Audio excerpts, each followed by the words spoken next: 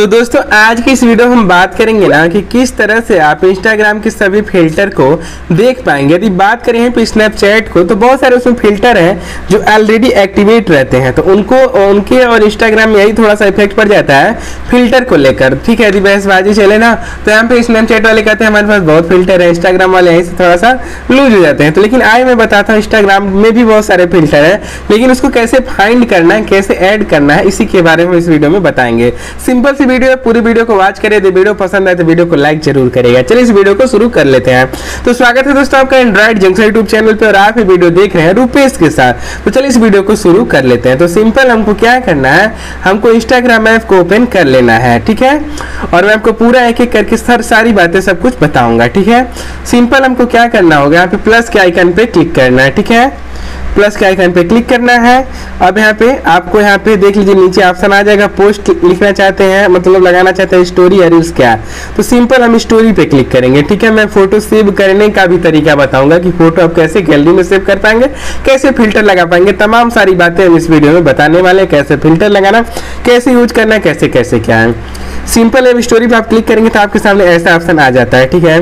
और यदि हम ऐसे स्वाइप करें तो कुछ ही हमको फ़िल्टर मिलता है। लेकिन आपको ऐसे स्वाइप करने करते हुए छोड़ना नहीं लास्ट तक आना है, ठीक है? सबसे लास्ट में आना है आपको, ऐसे स्वाइप करके लास्ट में बिल्कुल आइए यहाँ पे। सबसे लास्ट में देखिए सर्च की बटन दिखेगी सर्च की। उस सर्च की बटन एक बार और दिखाना चाहूँगा, देख लीजिए यही सर्च की बटन यही दिखेगी, इस पर आपको क्लिक करना है। इस पर क्लिक करेंगे ना तो बहुत सारे फ़िल्टर आप देखिए आपको यहाँ पे दिखाई देने लगेंगे। लेकिन इसको कैसे अप्लाई करना है, कैसे क्या करना है, आइए बताते हैं। देखिए यहाँ पे आपको सबसे पहले ना, यहाँ पे कैटेगरी दे दी जाएगी, ठीक है? कि किस तरह की आप यहाँ पे इफ़ेक्ट लगाना चाहते हैं। जैसे इंस्टाग्राम है के लिए रील्स के लिए लगाना चाहते हैं, या सेल्फी के लिए, या लव के लिए, या कलर एंड लाइट के लिए, या कैमरा स्टाइल्स या मूड बहुत तरह तरह के मिलेंगे, ठीक है? फनी है एनिमल्स है, लेकिन मान लीजिए हमको एग्ज़ाम्पल के तौर पर यदि यहाँ पे लव वाला चाहिए तो हम लव पे क्लिक कर दिया, ठीक है? जैसे इस पर क्लिक करेंगे तो हमारे सामने ऐसा ऑप्शन आ जाएगा लव वाली जितनी कैटेगरी होंगी ना फिल्टर्स होंगे, हमारे यहाँ पे आ जाएँगे। अब इसमें से देख लीजिए जो फ़िल्टर आपको पसंद आए ना, उस पर क्लिक कर दीजिए। अब जैसे मान लीजिए हमको ये फ़िल्टर काफ़ी अच्छा लग रहा है। इस पर मैंने क्लिक कर दिया, ठीक है? अब चाहे तो आप ट्राई पे क्लिक करके तुरंत ट्राई कर सकते हैं। नहीं तो यहाँ पे डाउनलोड के बटन पे क्लिक करके जैसे डाउनलोड करेंगे तो आपके कैमरे में सेव हो जाएगा, ठीक है? और उसके बाद आप इसको लगा सकते हैं। आइए मैं यूज़ करने का तरीका बताता हूँ। इस तरह आपको जो पसंद आए ना, उसको उस पर यहाँ पे यहाँ पे जैसे मैंने कैमरे में लाया है डाउनलोड पे क्लिक किया कैमरे में आ गया, उसी तरह से आप जो पसंद आए, उस पर क्लिक करके कैमरे में ला सकते हैं। जैसे मान लीजिए हमको ये वाला पसंद आ रहा है तो इस पर मैंने क्लिक किया और यहाँ पे डाउनलोड वाले ऑप्शन पर क्लिक कर दिया हमारा आप कैमरे में आ जाएगा। आइए यूज़ करने के तरीका के बारे में हम चलते हैं, ठीक है? कैसे यूज़ करेंगे? तो ऐसे बैक आ जाएगा बैक आने के बाद आप अपने कैमरे वाले फ़िल्टर में यहाँ से आ जाएगा ठीक है?